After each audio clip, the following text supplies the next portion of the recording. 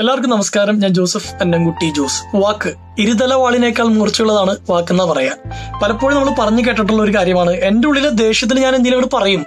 അത് പറഞ്ഞു തീർന്നത് കഴിഞ്ഞു. നാളെ ഞാനത് ഓർക്കില്ലെന്ന്. പറയാൻ എളുപ്പമാണ്. പക്ഷെ നിങ്ങൾ ആരോടാണോ പറഞ്ഞത്? അയാൾക്ക് ആ കഴിവില്ലെങ്കിലോ? നാളെയും അയാളത് ഓർത്തു വെച്ചിരുന്നാലോ? ഒരു നിമിഷത്തെ ദേഷ്യപ്രകടനം ഒരുപക്ഷെ ഒരായിരം നിമിഷങ്ങളുടെ കുറ്റബോധം നമുക്ക് സമ്മാനിച്ചേക്കാം. നമ്മൾ അറിഞ്ഞോ അറിയാതെയോ പറയുന്ന പല വാക്കുകളും ഒരുപാട് ഹൃദയങ്ങൾ ഇങ്ങനെ മുറി മുറിക്കുന്നുണ്ടാവും തോന്നി പോകുന്നുണ്ട് ബോബീച്ചൻ പറഞ്ഞു കേട്ട ഒരു സംഭവമാണ്. എൺപത് വയസ്സുള്ള ഒരു സ്ത്രീ അദ്ദേഹത്തെ കാണാൻ ചെന്നു.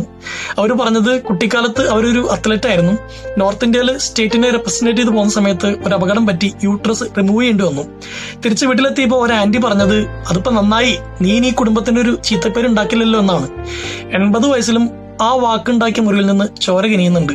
ഇപ്പൊ നമ്മൾ ആരെക്കുറിച്ച് എന്ത് റിമാർക്ക് പറയുമ്പോഴും എന്ത് അഭിപ്രായം പറയുമ്പോഴും ഇരുവട്ടം ആലോചിക്കുന്നത് നല്ലതാണെന്ന് തോന്നുന്നു കാരണം നിങ്ങൾ പറഞ്ഞ വാക്കിൽ നിന്ന് ചിലപ്പോ ചോര കിനിയും.